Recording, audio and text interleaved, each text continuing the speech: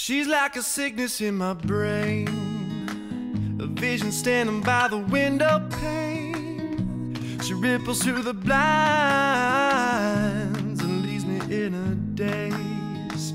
It's in the way her body moves me, the way she grabs me and intoxicates until the signals in my mind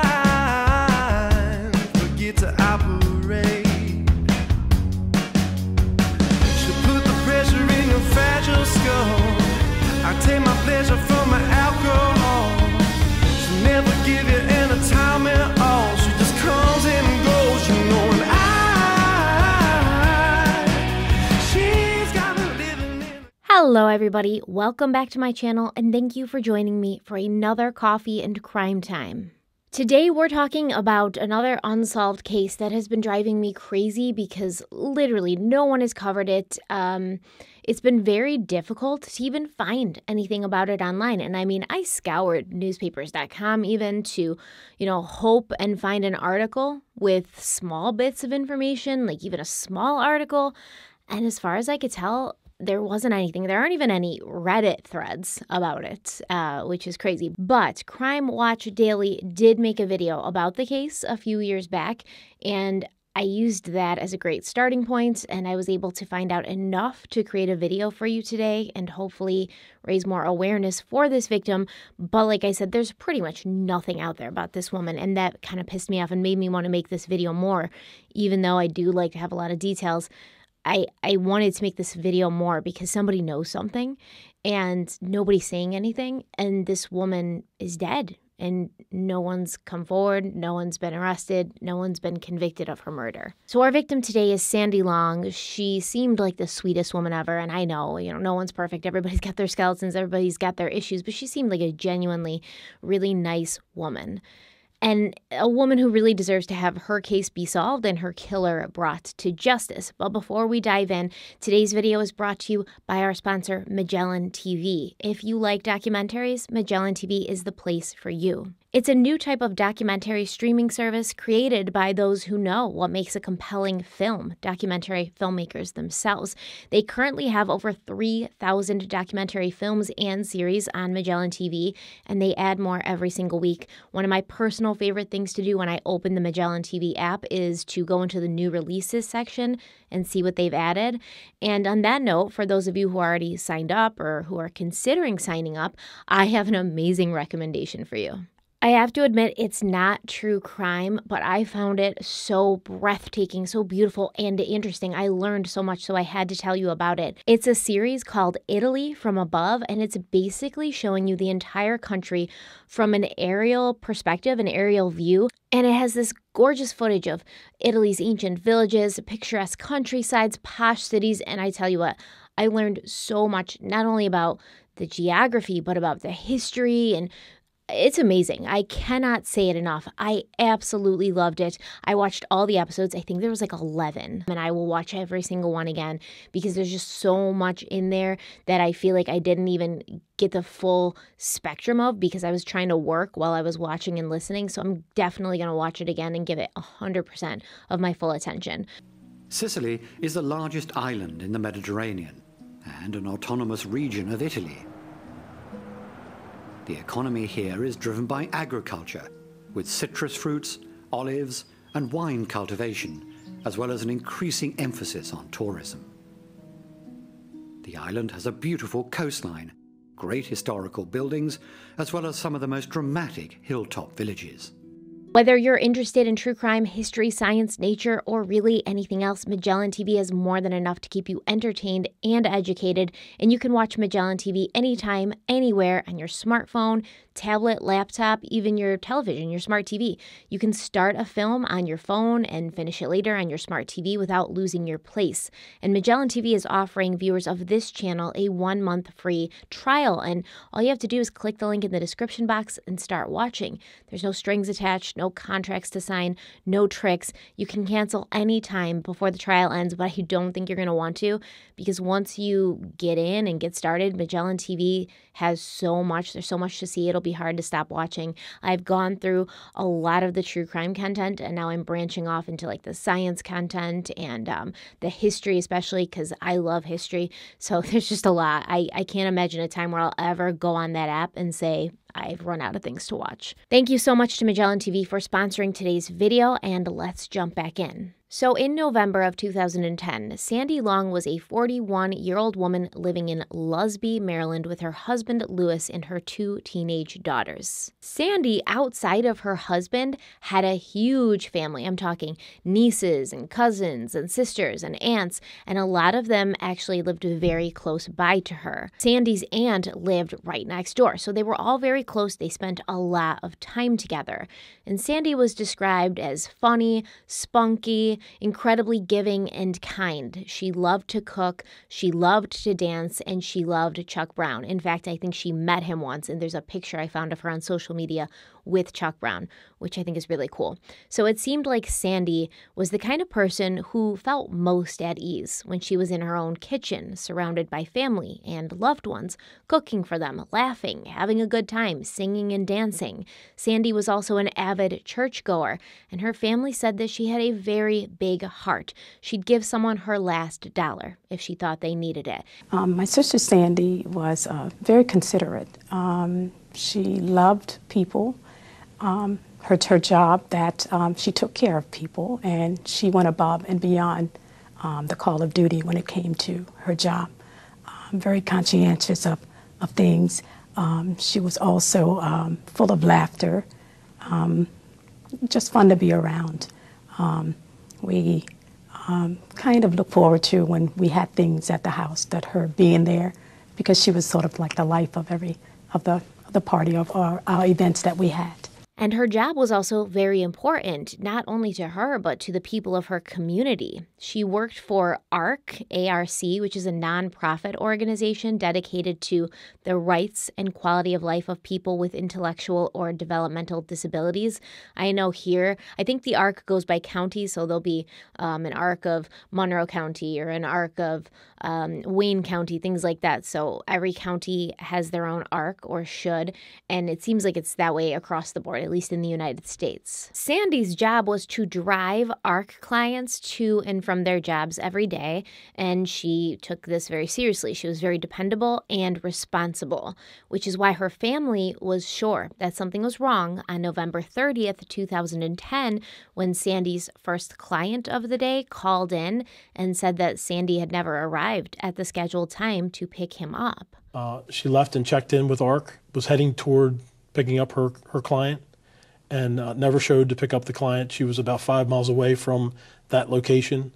Uh, she never showed. She was late, so they started calling around. The client's uh, uh parent called around and uh, couldn't get an answer. Couldn't couldn't make any contact with her. Sandy's husband, Lewis, said that he'd seen her, you know, get ready and leave for work that morning, and she seemed completely normal. Sandy's aunt, Annie Chase, who lived next door, also saw Sandy leaving for work that morning, and the two women exchanged pleasantries, waved to each other, etc. At 8 a.m., Sandy clocked into work using her cell phone, but then after that, her cell phone was never used again. Not for calls, not for texts, not for anything. When Lewis Long, Sandy's husband, heard that she'd missed her first client, he rushed right home because he knew that this was out of character for his wife. She was very punctual, you know, always on time, and if she ever changed her plans, she would tell him. At 2:30 in the afternoon this same day, a group of hunters saw a silver 2009 Ford Focus in the dirt parking lot of Calvert's Cliff State Park, less than 2 miles away from the home of Sandy Long. Inside the car, they saw a woman laying across the front seats with one leg up in the air and at first they thought maybe she was just sleeping. But as they got closer, they noticed the blood and they called 911. Sandy had been murdered, stabbed violently. There were multiple lacerations to her neck, chest, and legs, as well as minor abrasions on her hands. There was blood all over the car, on the floor, inside the cup holder, and the detective who was assigned to this case, Sergeant David Sexton, he said that in his opinion, it was a crime of passion, and the person who did this to Sandy had most likely been someone she had known. At some point, about 2:30 in the afternoon that same day, some hunters were pulling into a parking lot right near Calvert Cliffs State Park, right off of uh, Camp Kanoy Road and H.G. Trueman, and they found Sandra's car, which is a, uh, a silver-colored Ford Focus, and they they found Sandra Long inside the car, called police, uh, and, the and the investigation began uh, because she was uh, in the car, deceased, and it was a result of a homicide. How was she killed? It was a blunt force trauma um, uh, homicide, and um, we we feel like it was probably a crime of passion. Uh, she had some extensive injuries, uh, and um, the homicide unit was called. Uh, we worked extensively on interviewing family and friends and coworkers and any anyone that she had any kind of relationship with. Other than the fact that I think that this person was very close to her, and maybe something happened where she just didn't want them that close the family was questioned, and literally no one could think of anyone who would want to do this to Sandy. She was such a kind person, loved so much by everyone in her life. Everyone racked their brains and they couldn't even think of anyone that she'd had issues with. Sandy had no enemies. Who do you think would have done something like this to your sister? Um, I, I, couldn't fathom um, anyone, you know, doing um, such a brutal um, thing to Sandy because she Sandy was a person that mean, she didn't she wouldn't hurt a fly. She, um, like I said, she gave. She didn't take. Um, she was one that would take the shirt off of her back to to help you. So um, to find out, you know, that was her in the car, and and the family. The, none of us could believe that, you know, such a, a horrific, you know, thing could happen to her because she was she was just a, a person that you would never have dreamt of that she had, you know, any enemies. Now, Sergeant Sexton, after investigating the case, came to some conclusions about what he believed may have happened. He thought that after Sandy had left for work, she'd spotted someone she knew on the road and she'd pulled over either to talk to this person or to offer them a ride. Now, her family claimed that they did not believe Sandy would stop to pick up a stranger or to pick up a hitchhiker, which I think is a little bit contradictory because initially, you know, when they're talking about what a good person she was, they said she'd give someone her last dollar if if she thought they needed it. So, in my opinion, she does seem like the type of person who might stop and maybe not pick up a hitchhiker hitchhiker, but if she saw someone on the side of the road who appeared to be injured or who appeared to need help, I do think that she is somebody who would have stopped based on the description given by her family. But something else that adds to the theory that it was someone she knew was the fact that there was no sign anything had been taken. Her car was obviously still there, so this wasn't a carjacking. Her purse was found in the trunk, so it hadn't been a robbery. As far as investigators could tell, nothing was missing from Sandy's person or her vehicle.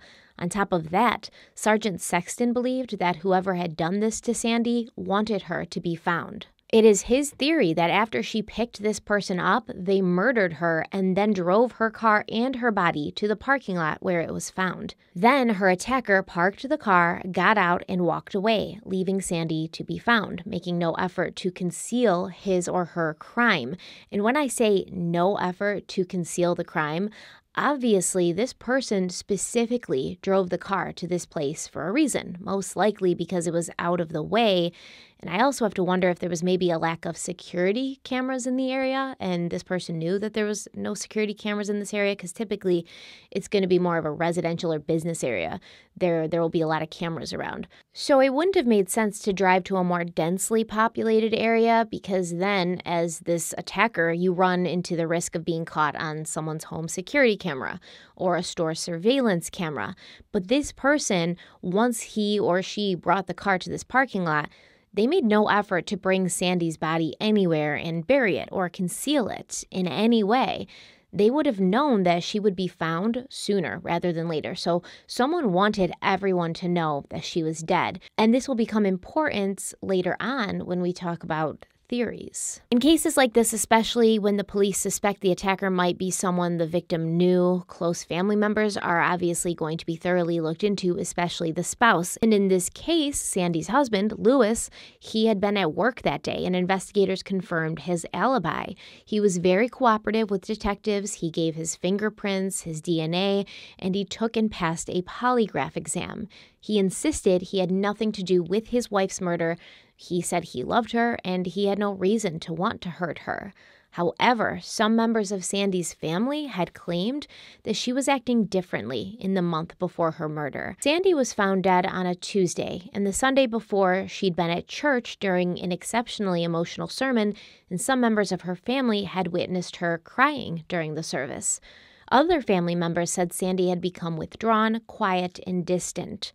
Her niece Karen had been with her both the Sunday and Monday before her death, and Karen had felt that something had been wrong, but she didn't ask Sandy if she was okay because she assumed that Sandy was going through, you know, personal or family issues, and Karen didn't want to pry. Tisa Crowner, Sandy's cousin as well, had also heard that there were some things going on behind closed doors at the Long home that were affecting the marriage of Sandy and Lewis. Now, when Lewis was asked about these issues, he said that he'd never laid a hand on his wife. Sure, they would sometimes say hurtful things to each other during fights, you know, like any couple, but he claimed it was never anything more than that. Sandy's family members said a lot of the time it seemed like Sandy was just trying to make everything work and be happy, but in the end, she wasn't. Sergeant Sexton makes mention that Lewis, Sandy's husband, may have been a bit controlling and that he also liked to drink and have his friends over to the house a lot, but there's no confirmation of that from anybody else. I don't know if Lewis was ever asked if this was true, but since the police officer did say it, I'd assume that he did his due diligence before making a claim like that. Okay, so as a heads up, there's going to be a bunch of stuff we talk about going forward, and a lot of it comes from allegations, rumors, gossip, things like that. There's going to be some facts sprinkled in here and there, you know, and I'll be very clear about which are which because everyone is innocent until proven guilty in a court of law. Now, it came to the attention of the police that even though there was no proof of domestic violence in the marriage of Sandy and Lewis, there had been some allegations from one of Sandy's teenage daughters whose name was Kiana. Now, both of Sandy's daughters were from a previous relationship, so they were not Lewis's daughters by blood. Kiana told True Crime Daily that her stepfather had come into her bedroom one night and touched her butt, and then made a move to touch the front of her. And at that point, she claims she pulled away, and she even thinks that she jumped onto the bed and ran out of the room to get away from him. Now, according to Kiana, this happened just once. It was not a regular occurrence, but it obviously caused some issues in the household when she informed her mother what had happened. Tensions between Kiana and Lewis were reaching a boiling point, and according to Sergeant David Sexton, they, they reached a head when a physical argument broke out between Lewis and Kiana, where the police had to be called. Now, this case almost went to court, but apparently Sandy stepped in and tried to be a mediator. The episode on True Crime Daily suggests that Sandy took her husband's side over her daughters. But it was also mentioned that Sandy just really wanted her family to be okay and to get along. But this apparently and obviously upset Kiana, understandably so. Now, Lewis denies that he was ever inappropriate with Kiana. He claims that she was just going through stuff in her life that made her say these things, but that they were not true.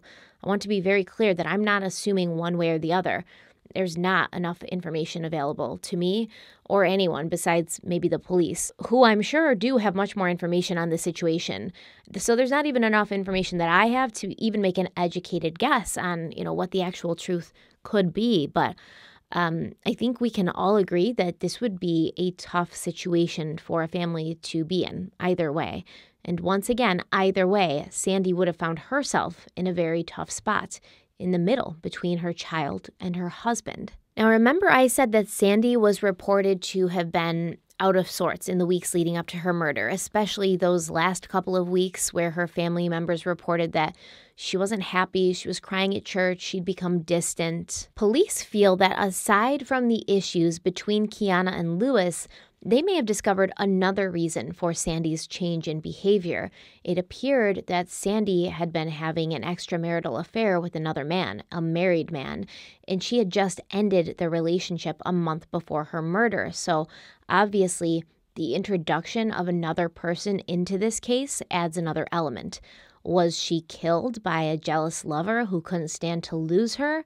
Or was she killed by her husband because he found out about it? According to Lewis, he had no idea his wife was having an affair, but it did seem like some members of her family were aware of that fact, and they had withheld it from police for almost a week because they didn't want to see Sandy painted in a negative light. Detectives tracked down this man at his home, and at the time they knocked on his door to question him, his wife was not home, lucky for him, and he was cooperative with the police. He told them he didn't know anything and he answered all their questions as well as giving them an alibi.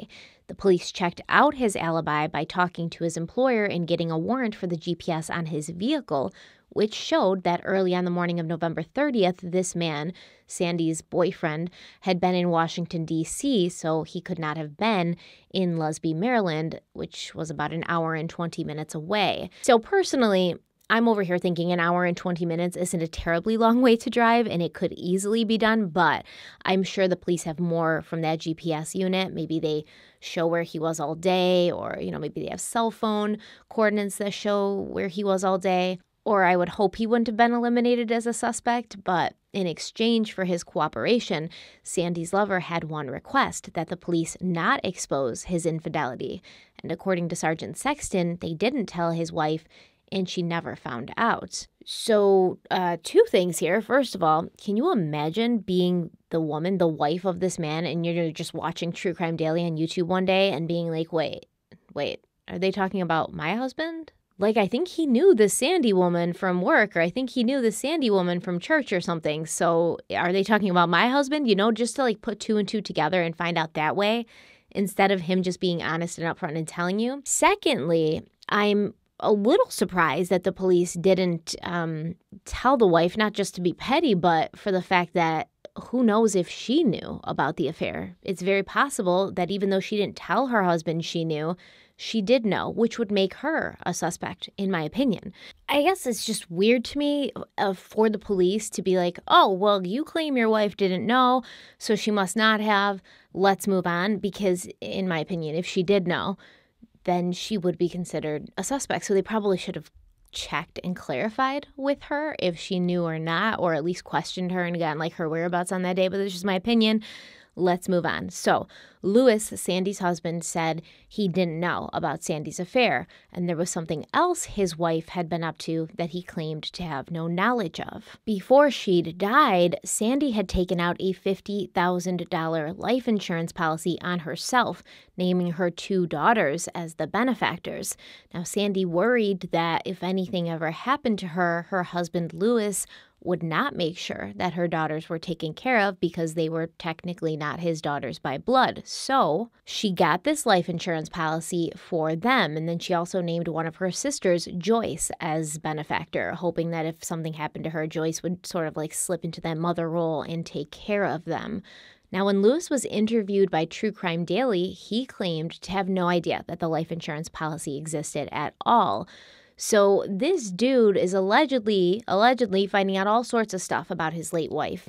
The fact that she was involved with another man behind his back, the fact that she'd taken out a life insurance policy on herself without telling him. But to me, the fact that Sandy felt the need to take out this life insurance policy in my opinion, says a lot about not only her relationship with her husband, but about her husband's relationship with her daughters. My oldest daughter, who's a teenager now, is not biologically the child of my husband, even though my two youngest children are. And I understand completely the challenges and dynamics of this sort of family unit. I've lived it. And it wasn't always perfect. It was hard sometimes, especially in the beginning. But if I died tomorrow, I would never doubt or question that my husband would make sure that my eldest daughter was taken care of emotionally and financially. He would treat her as if, you know, she was his own out of love for her and respect for me. So I think it does give us a little peek into the the home life of Sandy and Lewis, like behind the scenes, behind closed doors. And it makes me wonder if there was some resentment there on one or both parts. There was obviously a lack of trust on Sandy's part. She didn't trust him to take care of her daughters if something happened. She didn't trust him enough to even tell him that she'd taken out this life insurance policy for her daughters. Why? Why didn't she trust him enough to tell him that? Did she think he would get upset? Why would he get upset for her taking out a life insurance policy to make sure her kids were taken care of?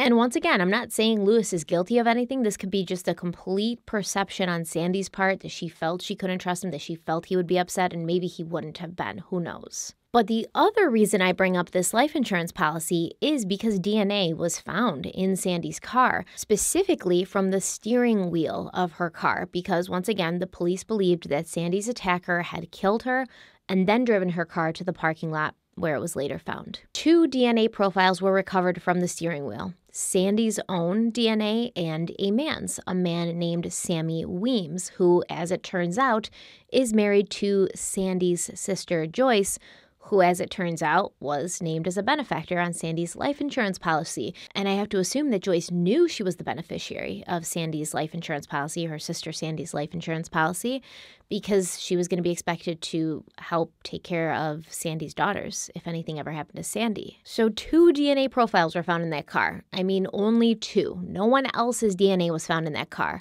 not Sandy's daughters, not her husband Lewis's, or any other family members just Sandy's and Sammy's. Not only that, but Sammy and Joyce lived right around the corner from Sandy. As I said, many of her family members lived close by. And additionally, Sammy's brother, Zetham Weems, lived right on the road that Sandy would have taken that day um, when she was going to work to pick up her first client the day she was murdered.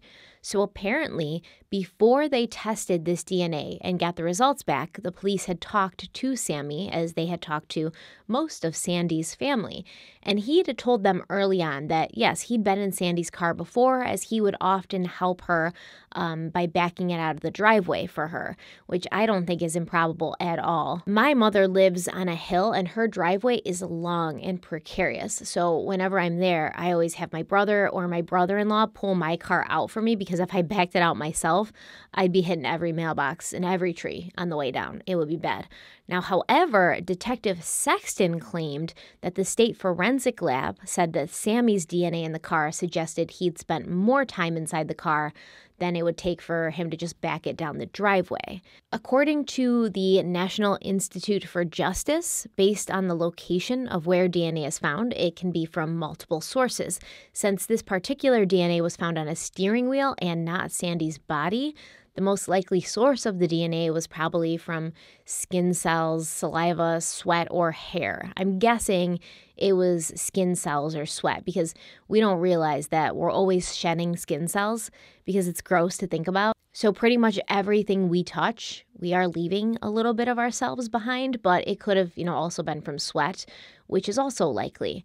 I am a little confused as to why the forensic lab would say the DNA found in Sandy's car would suggest Sammy had been inside for longer than it would take to back the car out of the driveway because, once again, according to the National Institute for Justice, there's no way to tell based on DNA or fingerprints when the suspect was at the scene or for how long they remained at the scene. In my opinion, this was either an inaccurate statement or law enforcement has more information that they haven't shared due to legal reasons or for fear of compromising the investigation. I'm hoping it's the latter because to make such an inaccurate statement would be very irresponsible um, on behalf of the state crime lab, but who knows? There may have been more DNA found in other places other than the steering wheel, I mean. And that DNA could have belonged to Sammy. So it could have been like in the back seat, it could have been in the trunk, it could have been um, on door handles, on things like that. And that's why they assumed that he'd been in the car longer than just backing it down.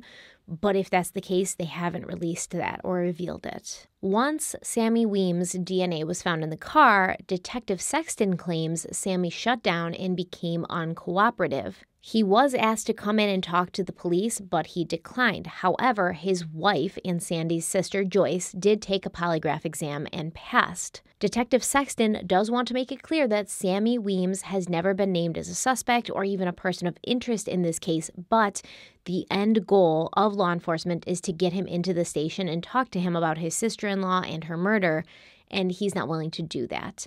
This could be because he was involved, but it could also be because his DNA was found in her car, which was technically the crime scene, and he's trying to avoid having a murder pinned on him that he did not commit simply because he helped his sister in law pull out of the driveway once in a while and both of these make sense to me considering the circumstances. So, True Crime Daily actually tracked Sammy Weems down one day while he was out grocery shopping at the store, and they asked him, you know, what did he think about his sister in law's murder? And he basically said that he has no idea what happened to her or who could have done it, but he didn't see anything that day and he wasn't involved. Sammy also made allegations about both the police involved in the case as well as the family of Sandy Long, who I guess in a way would also be his family, at least by marriage, you know?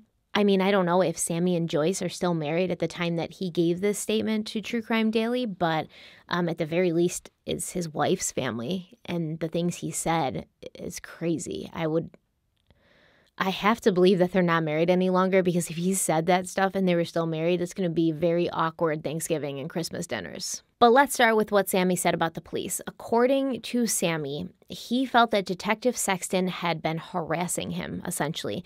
Uh, Sexton had basically showed up to his home multiple times, even after he told the police that he'd felt he helped the investigation all he could by giving his DNA and telling them what he knew. Sammy basically said that he doesn't know why he and his family are still being bothered by the police, and the last time Sexton showed up, his brother, who I assume is Zetham, told him basically to stick it, like told Detective Sexton to leave. We're not helping you.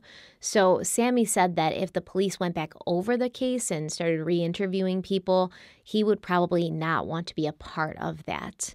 Now, about Sandy's family, Sammy came right out and said that they were a sick group of people, and he made allegations that this family has a history of having sex with each other and marrying each other. Now, I would like to be very clear once again that these allegations are unsubstantiated, but he did make these statements public, so I'm just repeating them to you, and I think it, it does give some insight into, once again, a family dynamic. Sammy also went on to say that he believed the key to what happened to Sandy lay with her husband, Lewis, and her daughter, Kiana, and what transpired between them. Now, in the summer of 2016, Kiana claimed that Detective Sexton approached her and asked her to take a polygraph, which she agreed to do. But when asked if she had anything to do with her mother's death, and she said she didn't, apparently the polygraph showed deception. And Kiana alleges that Detective Sexton basically accused her of killing her mother. Now, here's my problem with this. If the fact that she failed and Detective Sexton accused her of murdering her mother, if that's all true, it seems um, like law enforcement has a tendency to use polygraph tests to fit the narrative that they want. So if someone passes a test, they're like, that's great. But law enforcement and a potential prosecutor in a criminal case will still say that passing the test doesn't mean you're innocent, since polygraphs are generally not admissible in court, anyways. But if what Kiana is saying is accurate, that she failed hers and Sexton proceeded to accuse her of killing her mother, it looks as if he's putting more weight into her failed polygraph than he should be. Or he has this narrative, he has this idea of what happened, such as Sandy was killed by someone she knew. He was aware of the issue between Kiana and Lewis. He was aware that Kiana would have probably been upset about that and by default been upset with her mother. And he was trying to get her to confess by making her feel that he put more weight into the polygraph. For anyone watching this, if you're ever in a situation where a police officer wants you to take a polygraph test, you can say no, and you should always consult with a lawyer first. And like I said, it's well within your rights to say no. This does not mean you're guilty, nor should it make you look more suspicious in the eyes of law enforcement or anyone. It seemed like, at least at the point of True Crime Daily covering this case, many members of Sandy's family hadn't even known that Joyce's husband, Sammy's DNA, was found in Sandy's vehicle. The show gathered 13 members of Sandy's family together. Some knew that DNA was found in the car, but not all of them knew that it was Sammy Weems' DNA. Sandy's niece, Glenda, said she knew who the DNA belonged to, but she didn't feel comfortable talking about it in front of the family members who did not. So the show's producers basically asked all those who didn't know to step out of the room. And this left only Glinda and Sammy's cousin Tiza, the only two members of the family who seemed to be aware not only that Sammy's DNA was in the car, but that he wasn't really cooperating. And they claimed that it upset and confused them that he wouldn't take a polygraph and he wasn't talking to police. Sandy's husband, Lewis, also told True Crime Daily that he believes many people in his community think he did this to his wife and he doesn't know what else to do to prove his innocence. You know, he's done all he can. He cooperated with law enforcement, he gave his DNA, he gave his fingerprints, he took a polygraph, and law enforcement has never named him as a suspect or a person of interest, and his alibi checked out. But of course, you know, there's always going to be those people who say that even though he didn't do it himself, he could have hired someone to do it, or he could have been working with someone who did it. Of course, those are always going to be theories. In my opinion, I think the police definitely feel, at least they feel that they know who committed this murder. So I don't want to say they know who, who committed the murder, but they feel that they do. They just don't have enough evidence to prosecute. So they might have enough evidence to make an arrest, but outside of that, once it goes to court, whatever evidence they have, it won't stick. And I think that's where the issue is, and I think that's why this case is still unsolved. But it bothers me that this case is still unsolved because it seems like there's a lot of people involved here, and a lot of people know more than they're saying, and there's everybody's specific reasons for not talking maybe like like we said earlier when um, sandy's family didn't tell police that she'd been having an affair because they didn't want her to you know be painted in a negative light to the public. Maybe there's more that they know that they're not saying because of the way it'll make sandy look or the way it'll make their whole family look. And i'm not saying that sandy's family doesn't want this solved. I'm sure sandy's family wants this solved more than i do more than anyone else does. But until someone speaks up until someone says what they know, it's going to be at a stalemate. And that's where I want to direct you to the description box because if you have information on the murder of Sandy Long, I've placed resources for you in the description box where you can call in a tip anonymously, where you can send a message. If you know something, say something. And now I hand it off to you all in the comments. Let me know what you think about this case. Let me know if you've ever heard of it. Let me know what you think your theory is. Let me know what could potentially be done to shine more light on this case, share the video. If you think it's worth sharing, like it if you liked it, and don't forget to subscribe if you haven't already. And if you've already subscribed, make sure you are still subscribed because YouTube unsubscribes people from my channel all the time. Also, in the description box, you'll find the link to subscribe to Crime Weekly, my podcast that I co host with retired police detective Derek Levasseur. Thank you guys so much for being here. Make sure to let me know what you think in the comment section. Make sure to follow me on Instagram and Twitter. Handles are in the description box. Stay kind, stay beautiful, and I'll see you very, very soon.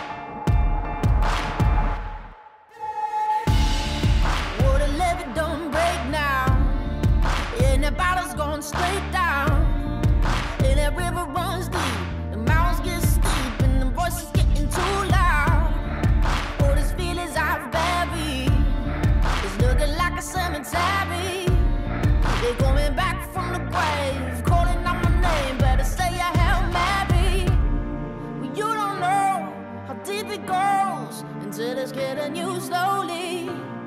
So you got to let it go. I got blood,